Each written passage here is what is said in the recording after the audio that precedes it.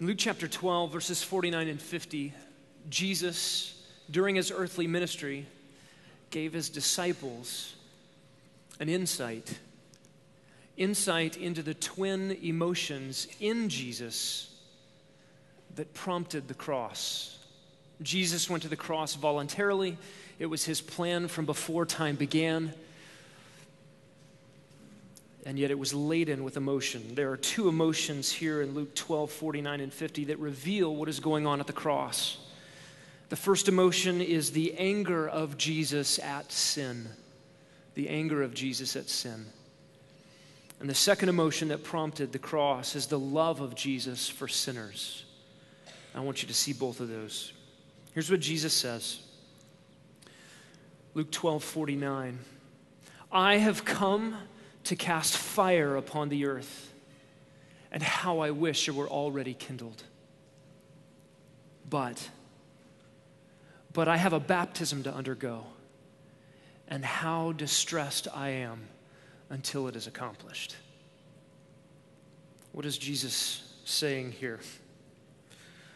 One of the fundamental reasons why the Son of God comes to the earth is to judge. Jesus comes to the earth to judge, to set fire to the ungodly, to destroy those who are rebels.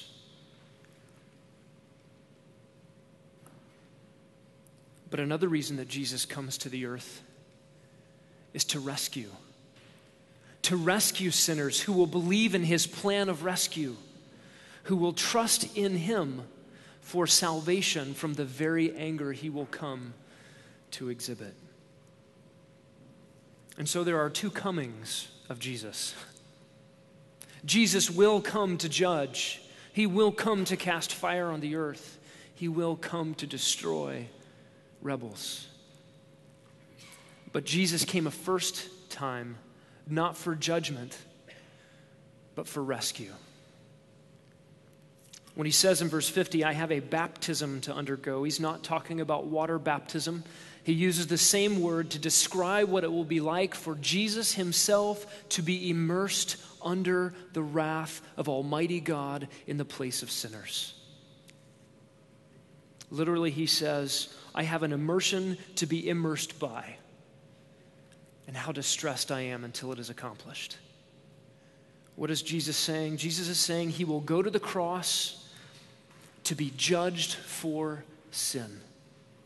The one who will judge sin at the end of time is the one who is judged for sin for everyone who will believe. Friends, you're here this morning. And some of you are here this morning and you live in the benefit of Jesus' rescue. You have been rescued. Jesus has borne the penalty of your sin, so there is no more penalty to give. There is no more wrath to be poured out. There is no more fire to be kindled. And so, for you here this morning who have been forgiven, who have entered into relationship with God through Jesus Christ, we will drink juice and we will eat bread to commemorate Jesus' blood and his body, which purchased that rescue. And some of you are here this morning who still abide under coming judgment. This communion, this remembrance of Jesus' death is not for you.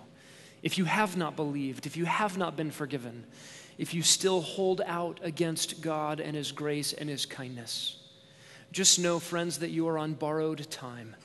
And there is a time coming when Jesus will kindle that fire. While it is still today, repent, believe, turn to Jesus. And if it would be this morning that you would turn to Him in faith and repentance, then drink this juice and eat this bread to remember what Jesus has done for all who believe. The men are going to come at this time and distribute those elements and hold on to those, and we'll take them together.